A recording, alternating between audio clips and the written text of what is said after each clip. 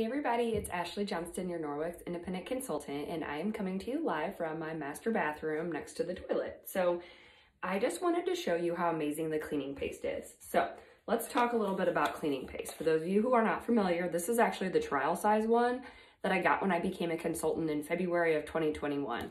As you can see, I use it all the time and I still have quite a bit left. Um, and so this is gonna last you a really long time because cleaning paste, the regular size one that you buy is about this big around. And so this is an amazing product. So many amazing things that you can use it on and get stains off of. Uh, baseboards, I use it on my daughter's ballet shoes.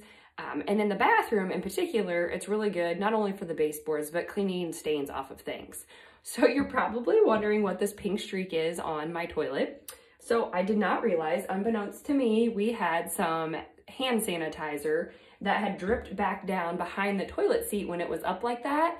And so um, when my daughter flipped the toilet seat down earlier today to sit on it, I was like, oh my gosh, what in the world is that? And it's a pink stain. So I took my Enviro cloth and wiped a little bit of it off, but it's not completely coming off because the dye in that hand gel apparently is pretty intense. So I'm going to take a little bit of cleaning paste. This is a wet Enviro cloth and I am just going to scrub along this and voila, a little bit of elbow grease goes a long way, but that got majority of that off. And so it's just as simple as that.